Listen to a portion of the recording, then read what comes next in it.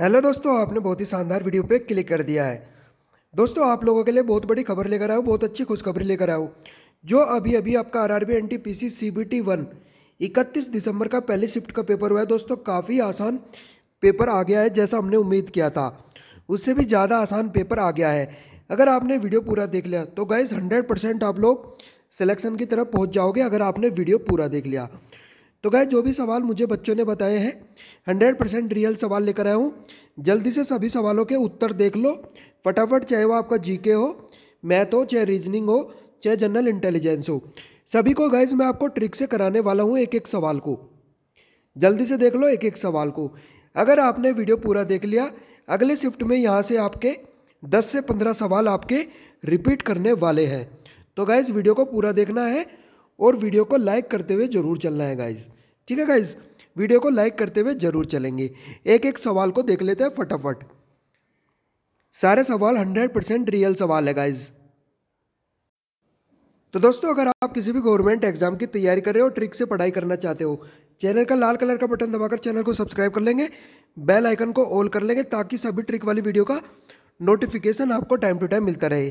तो गाइज़ देख लेते हैं क्या क्या सवाल आज की वीडियो में, आपके पेपर में क्या क्या सवाल पूछे गए हैं गाइज़ एक एक सवाल को देख लेते हैं।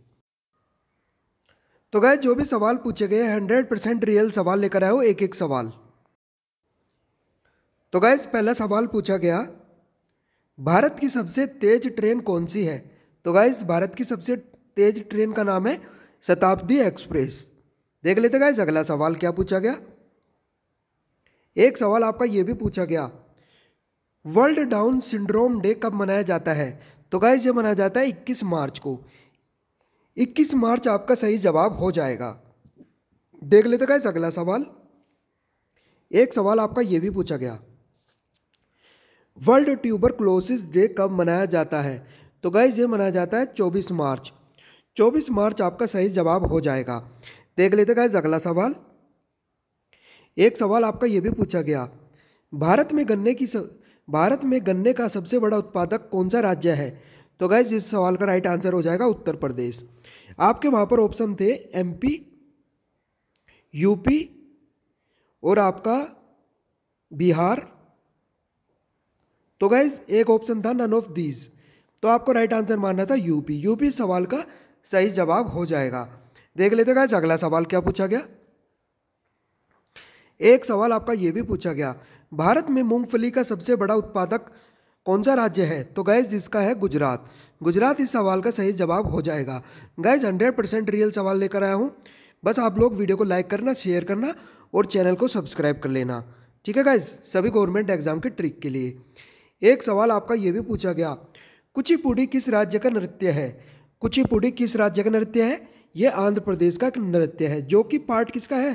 तेलंगाना का। ठीक है गाइज़ आगे बढ़ लेते हैं। अगला सवाल देख लेते हैं। एक सवाल आपका यह भी पूछा गया, धमाल किस राज्य का नृत्य है? धमाल किस राज्य का नृत्य है? यह हरियाणा राज्य का एक डांस है। देख लेते गाइज़ अगला सवाल क्या पूछा गया? अगला सवाल भी देख लेते हैं फटाफट। तो गाइज़ एक सवाल यह भी पूछा गया, वह कौन सी सभा है जिसका अध्यक्ष उस सदन का सदस्य नहीं होता? तो गाइज़ इसका नाम है राज्यसभा। राज्यसभा आपका करेक्ट आंसर हो जाएगा। देख लेते गाइज़ अगला सवाल। एक सवाल आपका यह भी पूछा गया, पूरे देश को कितने क्षेत्रीय परिषदों में बांटा गया है? तो गाइज़ ये बांटा गया है पाँच क्षेत्रों में। ठीक है गाइज़ अगला सवाल देख लेते हैं। एक सवाल आपका करंट अफेयर का ये पूछा गया, हाल ही में संयुक्त राज्य अमेरिका ने भारत, जापान और किस देश के प्रधानमंत्रियों को लीजन ऑफ़ मेरिट के सम्मान से सम्मानित किया है? तो गाइज़ कौन कौन से देश है? भारत, जापान और ऑस्ट्रेलिया। यही आपका करेक्ट आंसर हो जाएगा। देख लेते गाइज़ अगला इंपॉर्टेंट सवाल। एक सवाल आपका यह भी पूछा गया। भारत में प्रतिवर्ष राष्ट्रीय किसान दिवस आयोजन किस दिन किया जाता है? तो गाइज़ ये किया जाता है तेईस सितंबर को हर साल किया जाता है भारत में। देख लेते गाइज़ अगला सवाल। एक सवाल आपका यह भी पूछा गया। किस भारतीय ने दो बार ऑस्कर जीता है? तो गैज़ ए आर रहमान ने दो बार आपका ऑस्कर अवार्ड जीता है। देख लेते गैज़ अगला सवाल। अगर आपने थोड़ा सा भी करंट अफेयर अच्छे से पढ़ा है डेफिनेटली हंड्रेड परसेंट आप लोग सिलेक्शन के करीब पहुँच जाओगे अगर आपने वीडियो पूरा देख लिया। आगे बढ़ लेते हैं गाइस तो गाइज़ ये सवाल आपका इतिहास से पूछा गया। ब्रह्म समाज के संस्थापक कौन थे? तो गाइज़ इनका नाम था राजा राम मोहन रॉय। देख लेते गाइज़ अगला सवाल। एक सवाल आपका ये भी पूछा गया। इराक के राष्ट्रपति बरहम सोले ने हाल ही में किसे प्रधानमंत्री के रूप में नामित किया है? तो गाइज़ इनका नाम है अदनान जुर्फी। देख लेते गाइज़ अगला सवाल। तो गाइज़ ये आपका रीजनिंग का सवाल है, इसको मैं ट्रिक से बता रहा हूँ। अगर आपने अब ये वीडियो पूरा देख लिया, आप लोग सिलेक्शन की तरफ़ पहुँचने वाले हो। ठीक है गाइज़ ये सवाल देखो जल्दी से। यहाँ पर एक दिया हुआ है, पाँच दिया हुआ है, ये सीरीज़ पूरी करनी है। सत्रह दिया हुआ है और तैतालीस दिया हुआ है। तो गाइज़ इसको क्या लिखा इन्होंने? इसका लॉजिक मैं डायरेक्ट बता देता हूँ। इन्होंने लिखा ज़ीरो का क्यूब प्लस वन का स्क्वायर पाँच को कैसे लिखा? एक का क्यूब प्लस दो का स्क्वायर तो गाइज़ ये लॉजिक काम करेगा। ज़ीरो के बाद में एक एक के बाद में क्या आएगा? दो. दो का क्यूब प्लस तीन का स्क्वायर ठीक है गाइज़ ये यहाँ पर लिख देंगे। आगे तीन का क्यूब प्लस क्या आएगा? चार का स्क्वायर।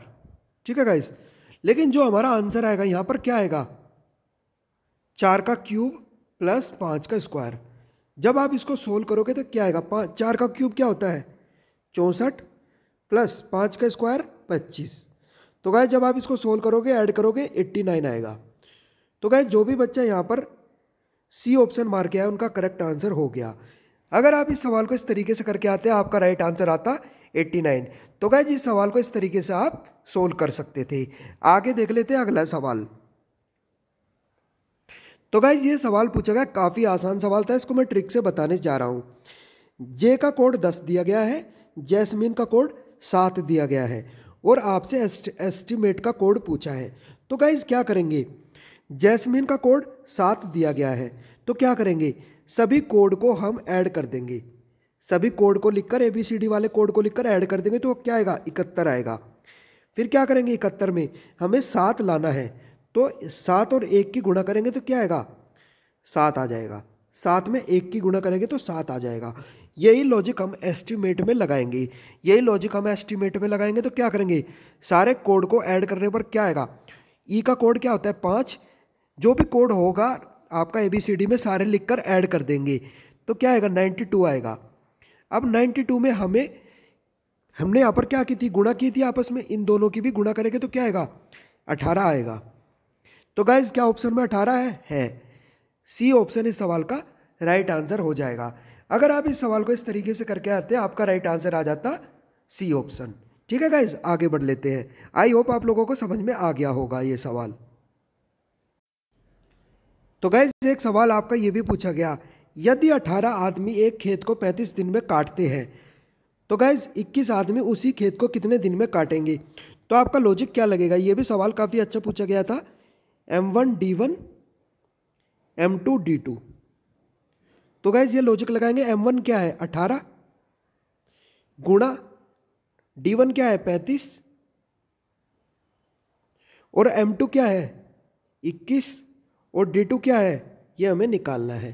तो गैस जब इसको सोल्व करेंगे तो क्या आएगा? सात तीय इक्कीस, सात पंजे पैंतीस। तीन से भाग देंगे, तीन छंग अठारह। जब इन दोनों की गुणा करेंगे छः और पाँच की तो गैस डी टू की वैल्यू आएगी निकल के तीस। तो गैज इक्कीस आदमी तीस दिन में इस खेत को आराम से काट देंगे। डी ऑप्शन जो बच्चा डी ऑप्शन मार गया है, उनका करेक्ट आंसर हो गया गाइज़ आई होप दोस्तों, ये सवाल आपके समझ में आ गया होगा। आगे बढ़ लेते हैं, अगला सवाल भी देख लेते हैं, काफ़ी आसान सवाल है। ये सवाल करके ज़रूर जाना।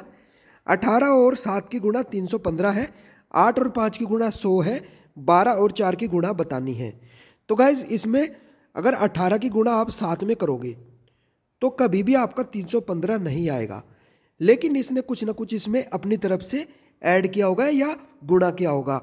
तो गाय इसने गुणा किया पाँच बटे दो का, मैं डायरेक्ट आपको लॉजिक बता रहा हूँ। इसने पाँच बटे दो का गुणा करेगा। तो गुणा करने के बाद दो नाम अठारह नौ की गुणा सात में करेंगे, तिरसठ आएगा। तिरसठ की गुणा पाँच में करेंगे, क्या आएगा? तीन सौ पंद्रह। तो गाइज़ हमें यहाँ से क्या पता चला? अगर हम अपने लॉजिक में पाँच बटे दो से गुणा करेंगे, हमारा राइट आंसर निकल के आ जाएगा। यही लॉजिक हम यही लॉजिक हम लगाएँगे बारह गुणा चार में। तो पाँच बटे दो कर देंगे इसका। दो से कितनी बार? छः बार। छः चौक चौबीस। चौबीस पंजे एक सौ बीस। तो गैस इस सवाल का राइट आंसर आ जाएगा एक सौ बीस। जो बच्चा यहाँ पर बी ऑप्शन मार गया, उनका करेक्ट आंसर हो गया। तो गैस इस सवाल में आपको आठ से दस सेकंड लगनी थी, ज़्यादा टाइम नहीं लगना था, बस आपको जल्दी से लॉजिक को पहचान लेना था। ठीक है गाइज़ इस सवाल का राइट आंसर आ जाएगा बी ऑप्शन ठीक है गाइज़ आगे बढ़ लेते हैं। आगे देख लेते हैं क्या बोला गया है। तो गाइज़ जो भी सवाल मुझे बच्चों ने बताए हंड्रेड परसेंट सवाल रियल मैंने आपको बता दिए हैं। तो गाइज़ वीडियो को लाइक करके ज़रूर जाना। अगर आप गवर्नमेंट एग्ज़ाम की तैयारी करो रीजनिंग और मैथ को आपको ट्रिक से पढ़ाई करनी है, नीचे चैनल का लाल कलर का बटन दबाकर चैनल को सब्सक्राइब कर लेंगे गाइज़ और बेल को ऑल कर लेंगे ताकि सभी ट्रिक वाली वीडियो का नोटिफिकेशन आपको टाइम टू टाइम मिलता रहे। तो गाइज़ इस वीडियो को देखने के लिए आपका बहुत बहुत धन्यवाद। मिलते हैं अगले वीडियो में। अगले शिफ्ट के लिए आपको good luck thank you so much अगली शिफ्ट के लिए आपको गुड लक